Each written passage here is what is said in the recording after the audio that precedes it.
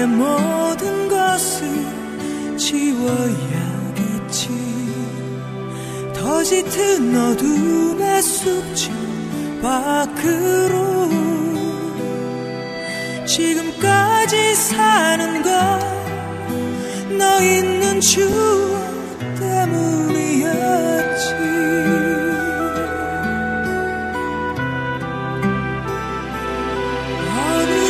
난 너의 침이 되어 있었던 거야. 다신 우연히도 만나지 마라. 가슴에서 죽어가 끝이 보이지 않았던 그리움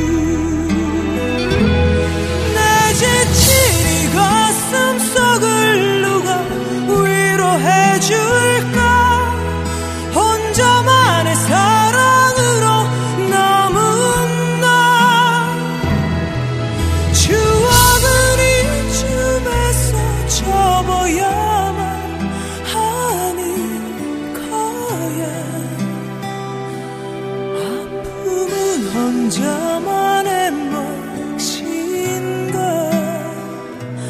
아픔은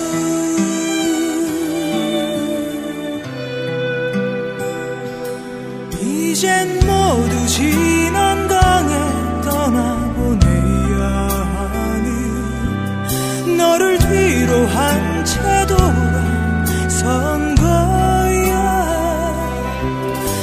주체할 수 없었던 눈물의 끝